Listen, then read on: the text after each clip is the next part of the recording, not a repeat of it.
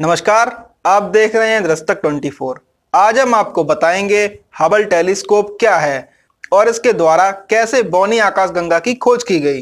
तो पहले आपको बताते हैं हबल टेलीस्कोप क्या है। हबल टेलीस्कोप यानी दूरबीन, अर्थात हबल अंतरिक्ष दूरदर्शी वास्तव में एक खगोलीय दूरदर्शी है, जो अंतरिक्ष में कृत्रिम उपग्रह के रूप में स्थित है।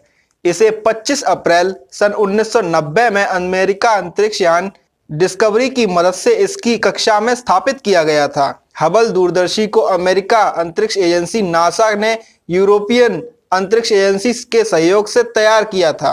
अमेरिकी खगोलीय वैज्ञानिक एडविन पोवेल हबल के नाम पर इसे हबल नाम दिया गया। यह नासा की प्रमुख वैधशालाओं में से एक है।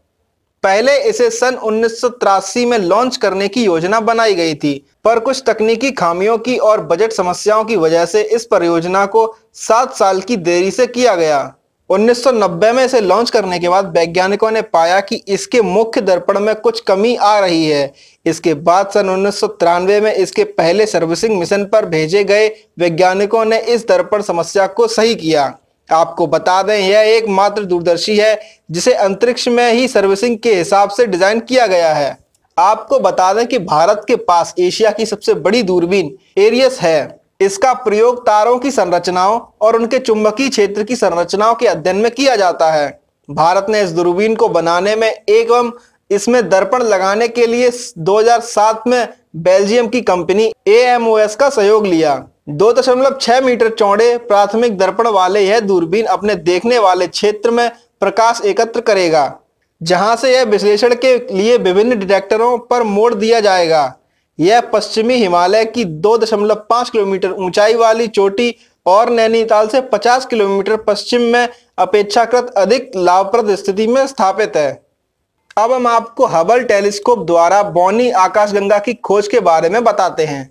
हबल टेलीस्कोप द्वारा तीन करोड़ प्रकाश वर्ष दूर ब्रह्मांड के पिछले हिस्से में मौजूद एक बौनी आकाशगंगा की खोज 3 फरवरी 2019 को की गई। वैज्ञानिकों द्वारा ब्रह्मांड की इस पड़ोसी आकाशगंगा का नाम बेडिन वन दिया गया है। यह हमारी आकाशगंगा से आकार में बहुत छोटी और धुंधली है। नासा का हबल टेलीस्कोप द्वारा तारों के गोले गुच्छे एनजीसी छह हज़ार सात सौ बावन के भीतर सफ़ेद बौने तारों का अध्ययन किया गया। जिसका उद्देश्य गोल तारामंडल की आयु का पता लगाना था।